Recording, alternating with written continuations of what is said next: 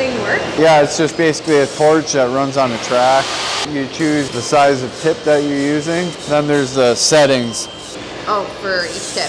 for, yeah, so for the gas pressure and the speed, the travel speed and everything. Is that what it's hooked up to, just gas? yeah, acetylene and oxygen. What makes it move on the track? It, it's motorized.